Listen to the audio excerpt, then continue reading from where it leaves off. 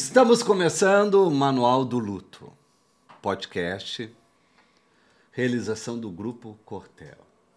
Agora numa nova fase. A, a fase é um consultório de atendimento a quem teve uma perda, a quem está enfrentando uma despedida, a quem está precisando de um conselho. No clube de cartas Corações Solidários, que a gente mantém no Grupo Cortel, temos recebido série de correspondências, de e-mails, de pessoas que tiveram a coragem de se abrir, de expor a sua história, querendo um SOS afetivo de nossa parte. Camila estará aqui para ler, interpretar as cartas dos nossos leitores dos nossos inscritos no clube de cartas. Não será uma tarefa fácil. Não será. Porque a palavra dói quando enfrentamos a morte. Tudo dói, mas a palavra, mais ainda. Porque você perde um pouco o encanto da comunicação. Você tem dificuldade de traduzir o insondável, traduzir o que você vem passando. São pequenas decisões ao longo do dia para seguir a vida. Vamos começar? Vamos lá. Um agradecimento especial, então, a todos que participaram, né? enviaram aqui os seus compartilharam com a gente seu momento. E a gente vai começar então com a Marilde. Hoje faz 18 dias que meu amado esposo partiu, com 54 anos, cheio de sonhos a realizar. Foram 27 anos de amor, amizade e companheirismo. O buraco que ficou é imenso, uma dor indescritível, mas também gratidão eterna. São 27 anos de uma vida incomum não dá nem para dizer que é nascer de novo. Porque você está vinculado a uma rotina, a uma dinâmica. Fora a saudade, tem o costume. Imagine uma pessoa que acorda toda manhã ao lado de alguém. Conversa no café da manhã, planeja o almoço junto, fez todas as viagens acompanhada, tem uma família que viviam alimentando de esperança, de planejamento, de convívio. E de repente essa pessoa é, é arrancada sumariamente da sua existência. Você não sabe o que fazer. Você fica absolutamente potente.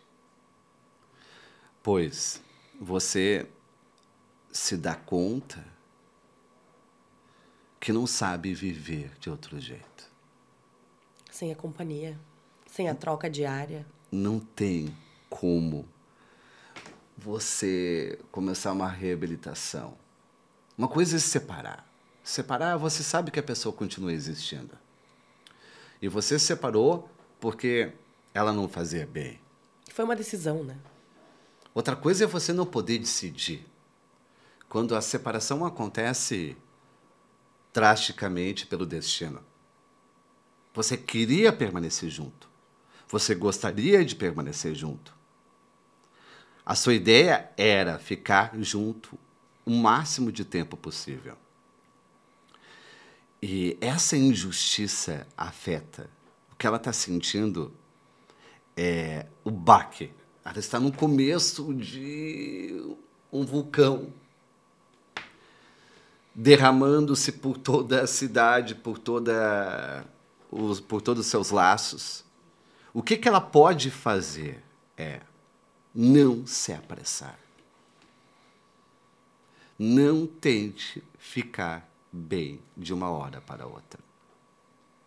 Não procure nenhuma saída milagrosa.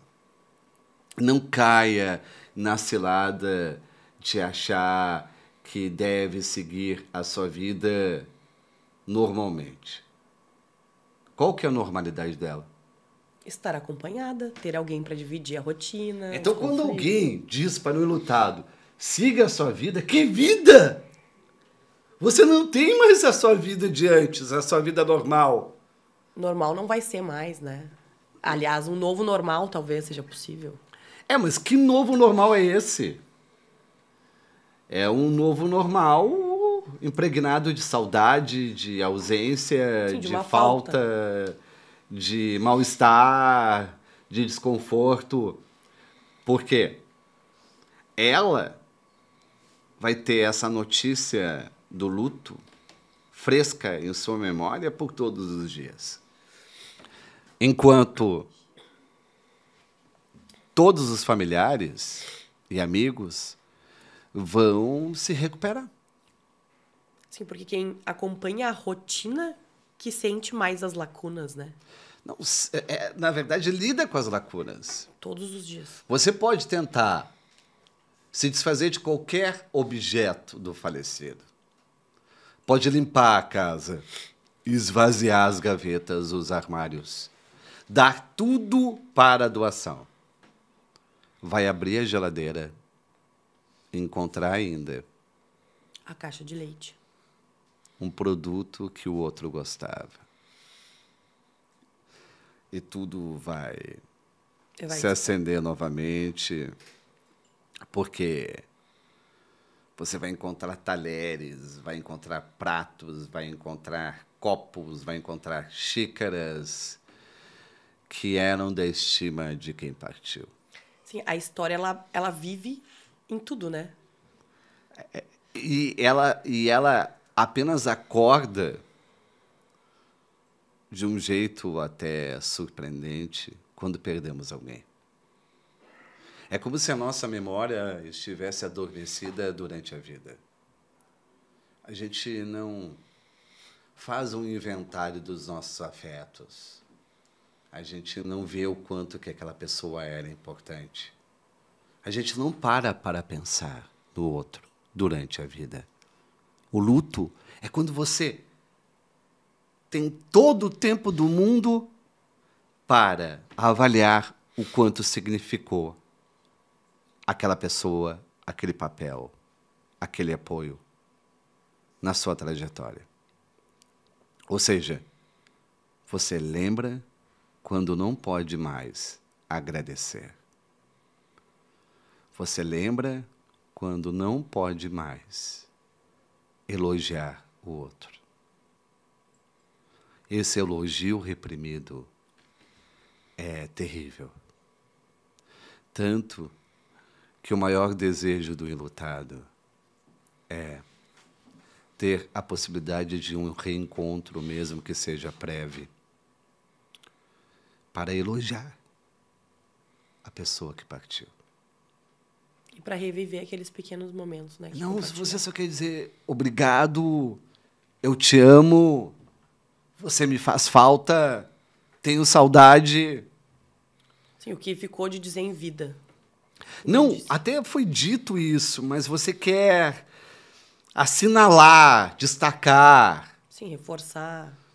É, não há maior tormento para o enlutado do que quem morreu não saber o quanto foi amado. Você tem receio da desinformação. Você pode ter dito eu te amo todos os dias mas ainda vai ficar com receio de que quem partiu não sabia o quanto que você o amava. Você vai ficar querendo esse reencontro, só para não deixar dúvidas. Porque o que, que acontece no luto? Acontece uma desproporção, é uma desproporção. Você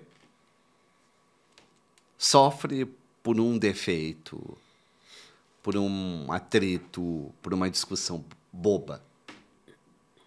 Você discutiu uma vez com quem morreu. Aí você acaba exagerando a importância dessa discussão. Se não tivesse morrido, essa discussão teria desaparecido. Teria sido superada ao longo dos dias. Sim, por outros, outras vivências, outras urgências, outras motivações. Mas como a pessoa não está mais ali, você começa a focar apenas nas pequenas coisas que deram errado. E não enxerga o contexto favorável, o conjunto da obra. Você não é capaz de pensar tudo de bom que aconteceu. Os primeiros dias, ela está passando por isso, do luto, são drásticos, são sofridos, são angustiantes, porque a pessoa não está conseguindo enxergar o que foi bom, somente o que foi ruim. Ah, eu briguei, eu perdi a paciência, eu impliquei, ah, eu não dei a devida importância, eu não valorizei. Só isso, é só o não. E tem uma outra coisa que ela comenta aqui, né? Do que ela não vai viver, né? Sonhos a realizar. É, mas esses sonhos a realizar são continuação dos sonhos realizados. Ninguém pensa o que faltou fazer. Não. Isso é uma. Acaba sendo uma ilusão, uma miragem. Você pensa, eu gostaria de repetir tal sonho. De viver novamente. É, você passou férias em Maceió. Aí você pensa, nossa, nunca mais vou poder voltar para Maceió. Sim, ou repetir um novo local com a mesma pessoa, né? É, os lugares mágicos de uma vida em comum, quando um dos dois morre, torna-se inacessível. Sim, ele perde o brilho, né? Você não tem como voltar a Maceió sem sofrer. Você vai ficar recordando minúcias e detalhes dos passeios. Você só vai chorar.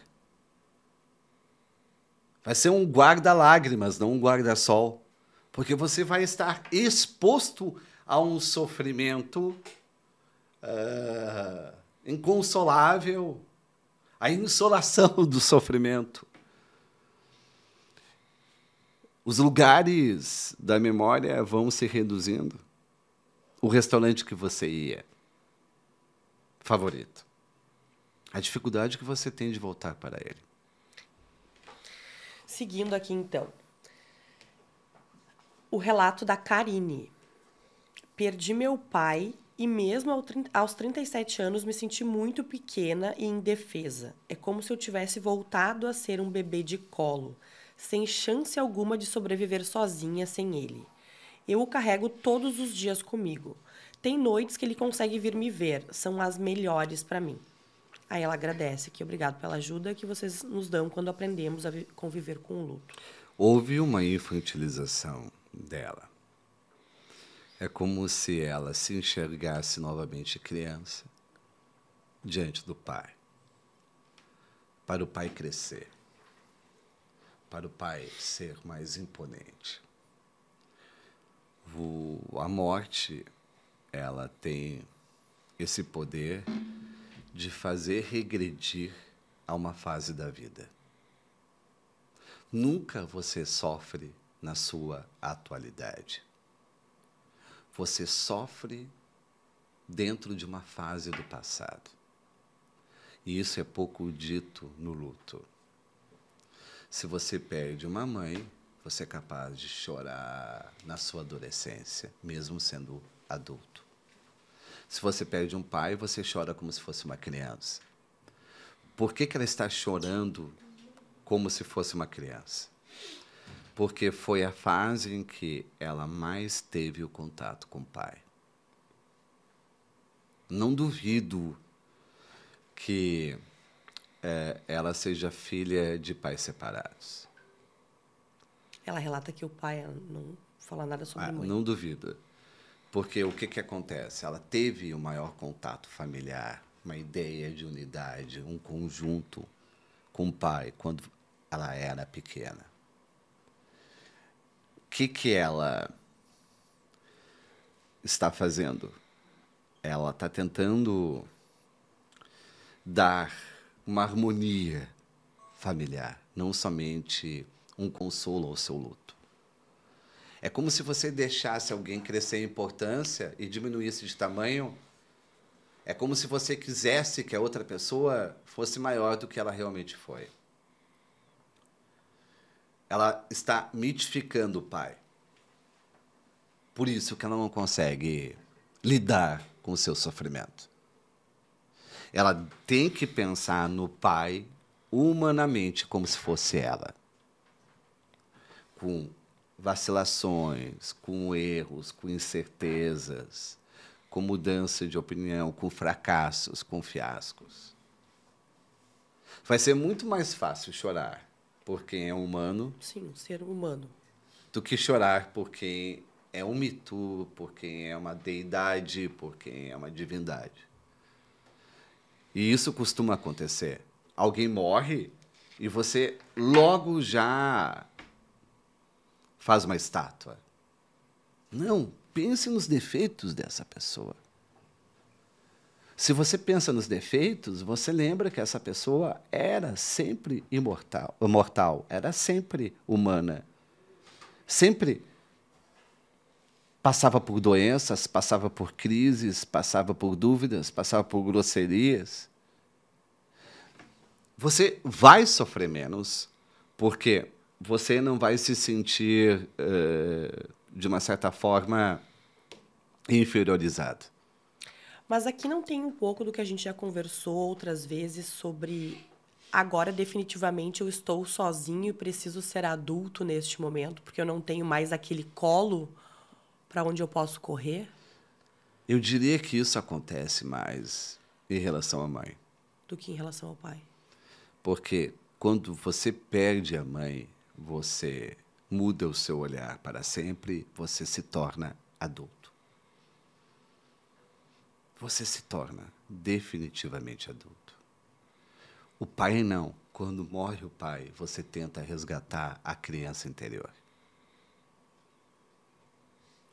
Você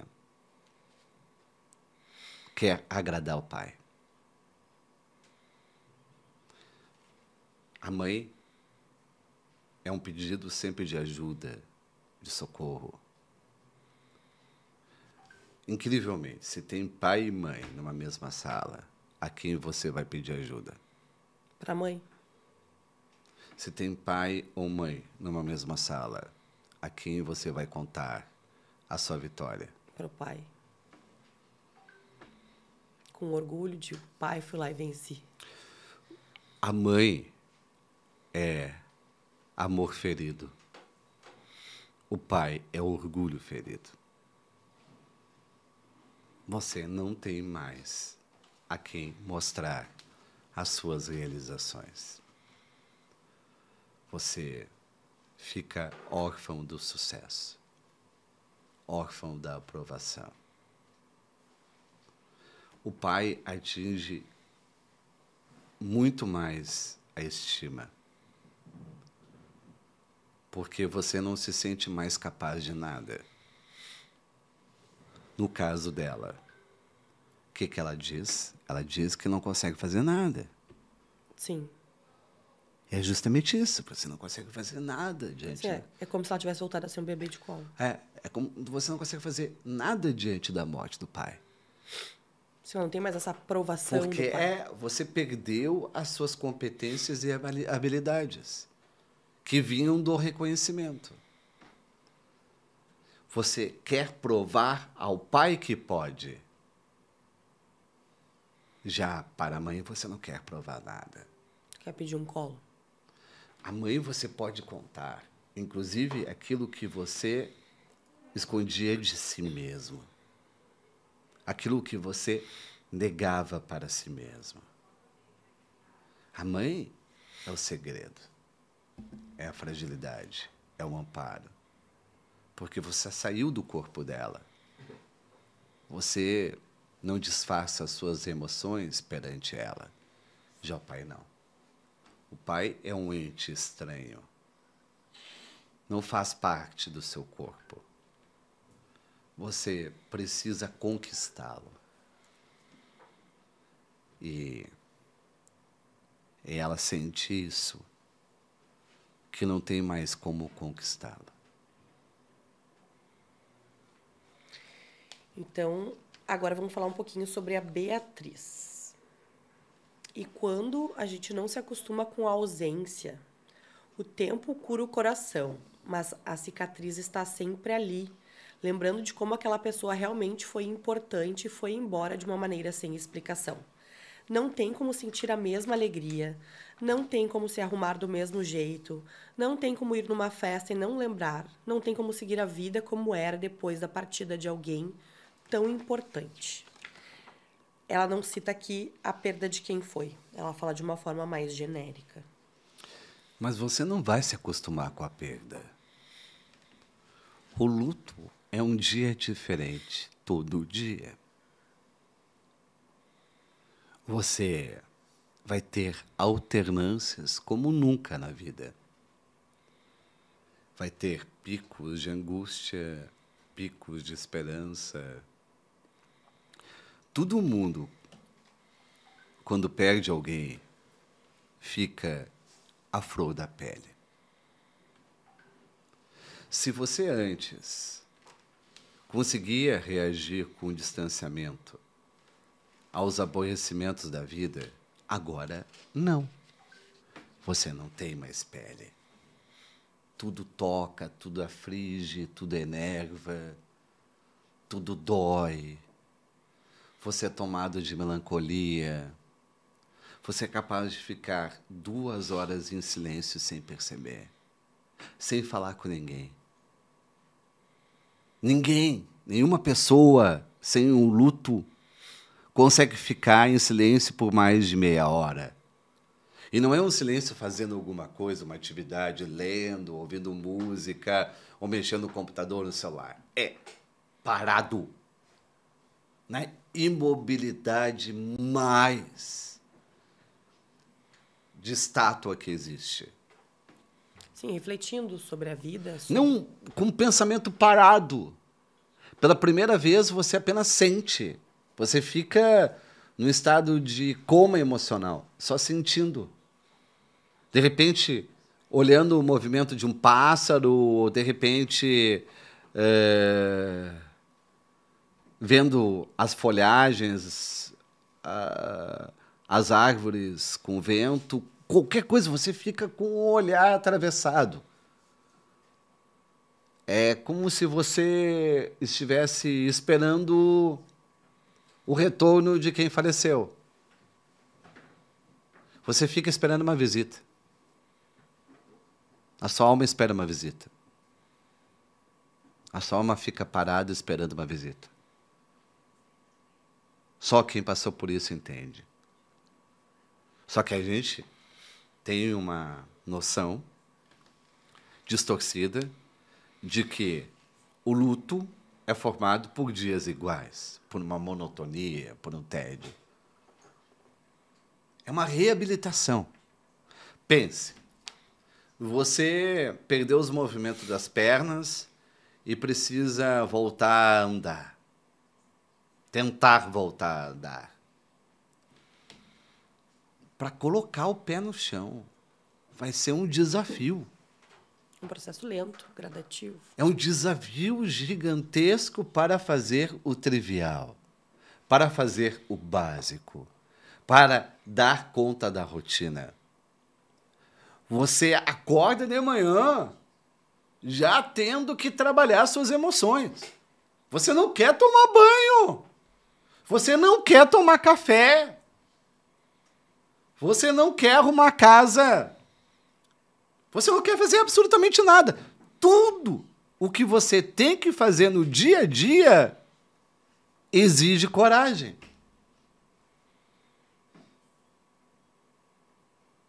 Exige força de vontade, exige concentração. Você vai viver passando por cima dessas contrariedades. Você vai levar a sua dor a passear. Você vai levar a sua dor na festa.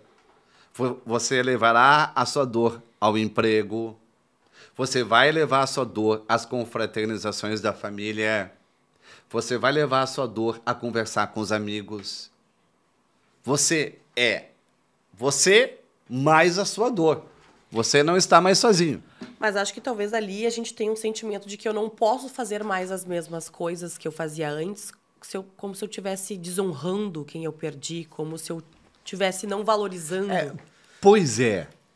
Pode ter esse contexto de desonrar a alegria, um contexto de desonrar, desonrar a alegria. Ou seja, profanar a alegria, profanar o contato. Sim, eu não poderia estar com os amigos eu se eu estou com uma dor. É, eu não posso empobrecer minha saudade, eu não posso repetir a minha saudade. Mas não é, eu acho que é esse caso. Eu acho que é o caso é ninguém sabe o quanto que eu estou sofrendo.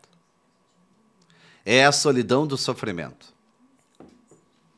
De não ter com quem falar sobre. Não ter com quem possa traduzir o que eu estou passando. Você está rodeado de colegas de trabalho que não entendem o seu esforço descomunal para trabalhar. E você não quer ter um desconto. Você também não quer ter a compaixão. Você quer apenas que as pessoas percebam que aquela dor não vai passar. Que você é diferente. Que você é uma outra pessoa. Você quer ter esse reconhecimento de que a sua vida será outra a partir daquele momento. E não acontece. As pessoas, elas evitam falar do assunto. Sim para tocar a vida como ela sempre foi. É, evitam falar da perda. Aí você se sente mais louco. Eu estou sofrendo por uma loucura, ninguém comenta, ninguém percebe, ninguém atesta a sua existência. Ela é uma alucinação? É fruto dos meus pensamentos? Sim, eu nem devia estar sentindo. Eu continuo sentindo algo que as pessoas não querem que eu sinta. Eu não tenho como partilhar, eu não tenho como dividir os sintomas com ninguém. É como se fosse uma doença silenciosa. O luto é como se fosse uma doença silenciosa. Sim, porque a gente acaba nesses grupos de colegas e amigos buscar situações semelhantes, né? A gente conversa sobre as mesmas situações, os perrengues do trabalho, os perrengues de casa, e nesse momento do perrengue do luto, a gente não encontra a empatia. Nem é questão de empatia, é consideração. É considerar que aquela pessoa está sofrendo. E talvez ela queira falar do assunto. Sim, ela não encontra alguém que converse com ela sobre. Talvez ela queira desabafar. Pergunte como você está. Não como você está, como você está com a sua dor. Só colocar dor dentro do cumprimento já muda tudo. Ah, ele sabe que eu estou sofrendo. Você já se sente um pouco mais leve. Mais acolhido. É, é impressionante. Mas, se você não tem nenhuma perda próxima, você não enxerga os enlutados. Sim, faz sentido. Você vive entre os vivos, rodeado entre os vivos. Você perde a esposa. E de repente você enxerga viúvas, viúvos por todos os cantos. Nunca eles surgirão. Eles sempre estiveram. Eles sempre estiveram ali. Só que eles formavam um cinturão secreto, invisível, inexistente para você. Porque somos egoístas com a vida. A gente só pensa no nosso círculo mais próximo. Quando a gente tem uma dor, com essa violência, vamos criando parentescos com todos que já sofreram. Sim, gera uma proximidade, né? Tanto que eu só acredito que existe empatia depois da dor. A empatia nasce da dor. Você passa a enxergar com o terceiro olho da emoção, dos sentidos, todo mundo que está num estado semelhante ao seu. E essas pessoas formam um coletivo. Não existe maior solidariedade do que um enlutado, do que entre os enlutados. Porque eles sabem. A dor. E a dificuldade. O mundo não enxerga eles. E é um grupo de solidão. Você está acompanhado, mas ainda com a sua solidão da perda. Feliz é quem tem olhos para a dor sem ter passado por ela. Quem acolhe um colega de trabalho, um amigo, entende que a escolta deve se estender muito mais do que o velório e o enterro. Chame para conversar. E, se preciso, chame para ficar em silêncio. Ficar em silêncio ao lado de quem teve uma perda é a maior demonstração de amor que existe. O ilutado vai dormir melhor, sabendo que você ficou por uma ou duas horas ao lado dele sem precisar interrogar, deixando a pessoa falar quando ela quisesse. Sim. E aí, continuando na perda, a Fernanda traz aqui a vivência dela, né? Nesse momento da perda que vemos quanto tempo gasto com tantas bobagens e coisas que hoje já são um tanto faz, se for de uma forma, se for de outra forma muitas coisas que mudam o valor, principalmente da pressa que temos em correr atrás de adquirir bens materiais. De muitas vezes termos que abrir mão de estarmos com quem amamos por conta de trabalho. Até que, até que ponto isso vale a pena? Mudei muito meu conceito sobre isso e visão de vida. Hoje o que é importante para mim é me dedicar a ser mais a ser mais presente possível na vida do meu filho que perdeu o pai estou disposta a abrir mão de algumas coisas para poder ter isso, que é o realmente o mais importante. É, um enlutado vê em perspectiva tudo o que ele sofreu à toa e o quanto foi feliz sem perceber. Você faz uma triagem, um balanço da sua vida e volta atrás e enxerga que aquilo que tirava o seu sono, seu sossego, não era nada. Era trivial. Era fácil. Quando existe a morte de um ente querido, muda a sua régua da vida. Você finalmente compreende a estatura de um sofrimento. E os sofrimentos passados se tornam insignificantes. Tanto que um enlutado, ele não mente. Ele não mente mais para si mesmo. Eu, você, mentimos. A gente mente ainda. A gente esconde fatos, só nega informações para nos manter altivos, confiantes, orgulhosos. O ilutado não mente. Ele vai dizer as verdades mais duras para você.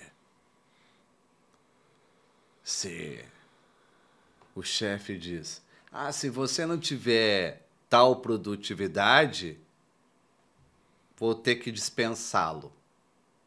Ele vai dizer: Me dispense, será um prazer. Você fica até inconsequente. Sim, não quer mais viver pela metade. Você não quer mais viver nenhuma realidade intermediária. Não quer mais fazer ajustes, condicionamentos, adaptações, ficar acomodando as suas certezas, vivendo pela metade. Não, você é inteiro daquele jeito porque você não tem mais como se incomodar com aquilo que é inútil. Não tem mais tempo para isso. Você essencializa o seu tempo. É o tempo da vontade. É o tempo soberano da vontade. Você não vai fazer mais nada contrariado. Porque você viu o quanto que essas contrariedades tiraram o tempo do seu afeto. Quanto isso custa, né?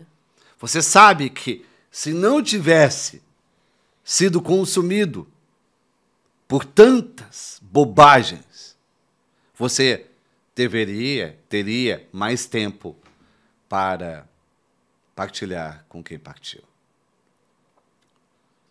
É essa avaliação dela. Ela viu, nossa, por que eu gastei tanto tempo com algo que não merecia minha atenção?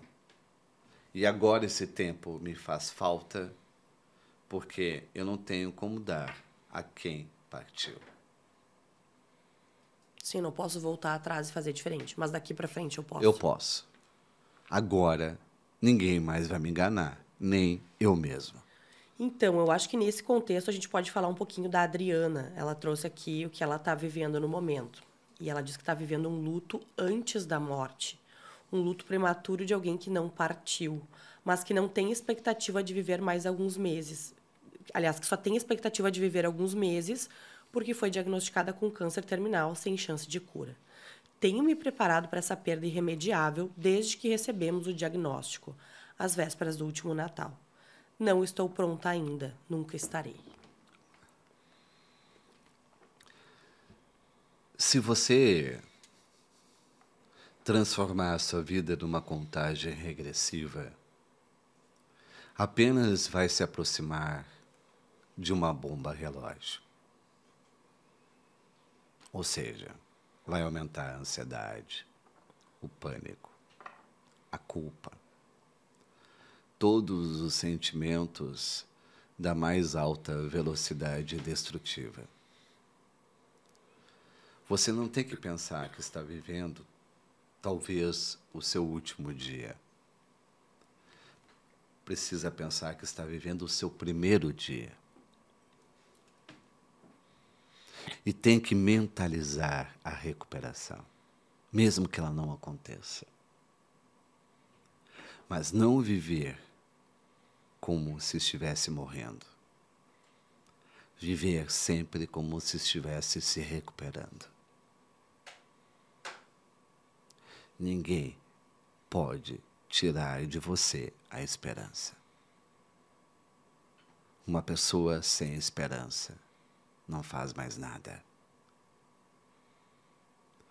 Nós não sabemos a data da nossa morte por um propósito para não perder a esperança.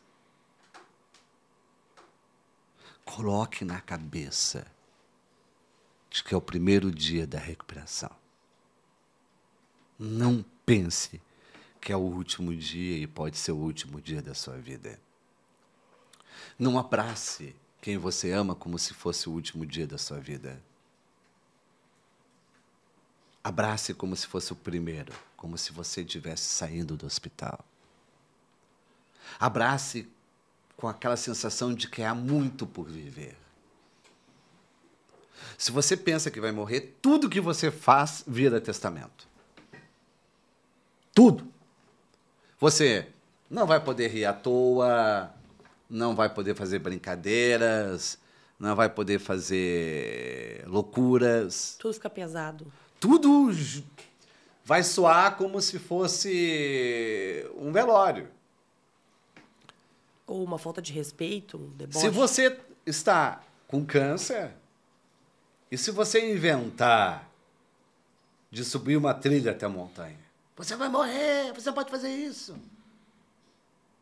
Você vai viver sendo censurado.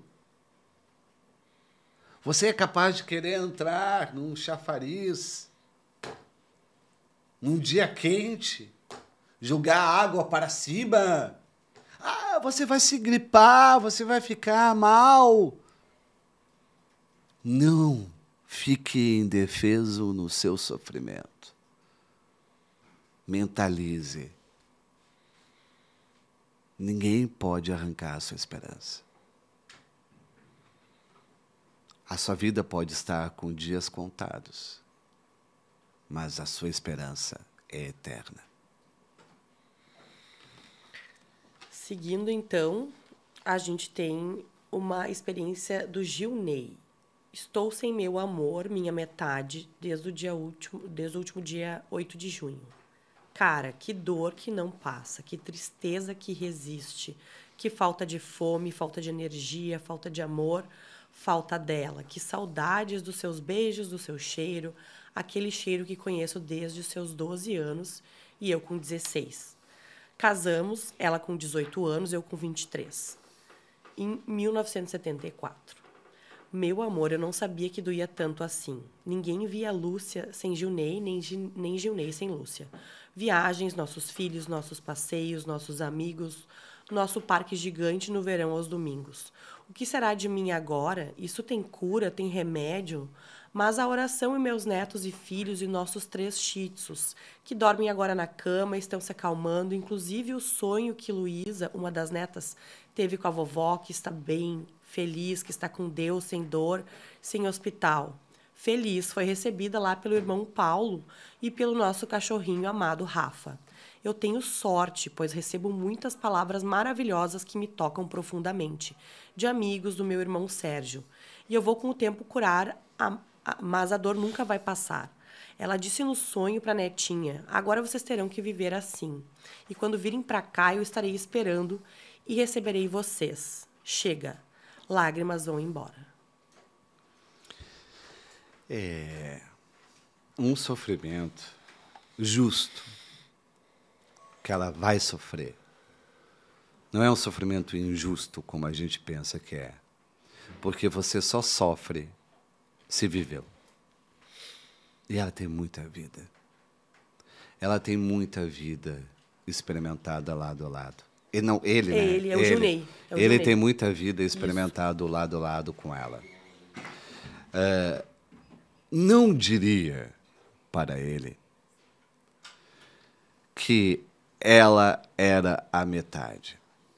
Somos inteiros. Eu sei que quando o casal se estabelece, se consolida,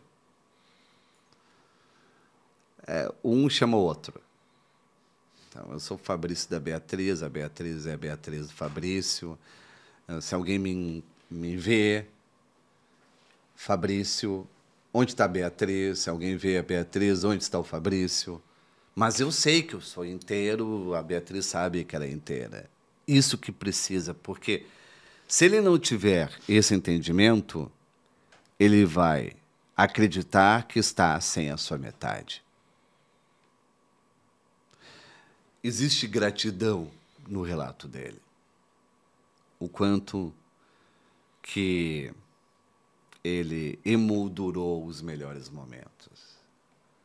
O quanto que ele repassa tudo o que significou do seu amor para outras pessoas. Eu vejo ele extremamente realizado. E eu devolvo uma pergunta para ele. Que quem conseguiu viver um amor como o seu? Quem teve essa alegria? Quem teve essa raridade de encontrar uma personalidade que se moldasse ao seu dia? Como você foi feliz a ponto de sentir o cheiro até hoje, mesmo depois de tanto tempo, sem quem você amava? Não é uma vida em vão. Não é uma vida vazia. Você teve algo que poucos têm. Poucos têm direito. Poucos têm direito a viver um amor tão intensamente e durante tanto tempo. Ele é para mim sinônimo de realização. Jamais, jamais de pesar. É. O podcast tem hora para terminar? Nunca, porque vai seguir dentro das reflexões de vocês. Quem quiser uma resposta, pode se inscrever gratuitamente no Clube dos Corações Solidários. Você pode entrar na página do Grupo Cortel e se inscrever. Você receberá uma carta por semana, toda quinta-feira, e poderá perguntar para nós o que vem afligindo você, o que vem atormentando você. Muito obrigado, Camila. Obrigada, Fabrício. É o primeiro episódio do consultório sentimental do luto, do Manual do Luto. Muito obrigado.